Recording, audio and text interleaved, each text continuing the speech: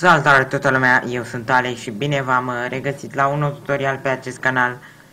Uh, înainte să începem, uh, v-aș ruga, dragii mei, să apăsați butonul de like și da, ne apropiem de 300 de abonați și e foarte, foarte ok.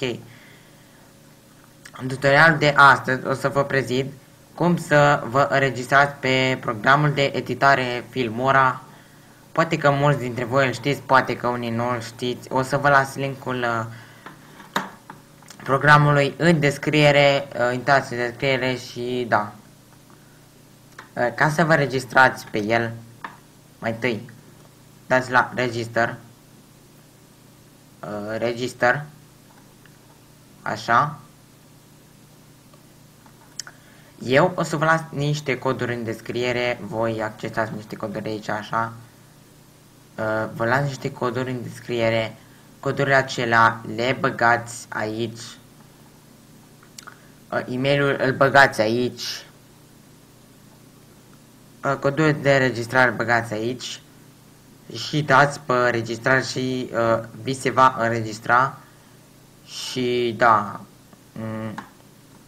cu ce aduce registrarea asta? Păi înregistrarea asta dacă te registrezi uh, nu o să mai apară watermark-ul uh, cum apare la trial version să zic, apare watermark-ul și te enervează și chestii. Păi uite, te registrezi și gata.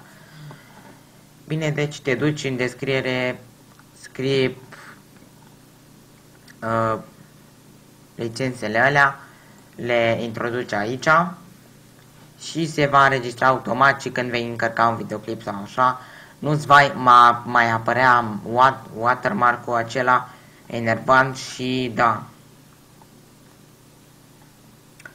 Păi pe cam atât a fost cu acest tutorial, dacă vă rog nu uitați să apăsați butonul de like și... Da, știu că a fost scurt, dar n-am ce să fac, fiindcă n-ai nici ce să-i spui așa. Dar uite, uitați intră lumea. ok? Uh, n-ai nici ce să spui, de da. Uh, eu am fost Ale și nu uitați să apăsați butonul de like și ne vedem data viitoare. Uh, pa!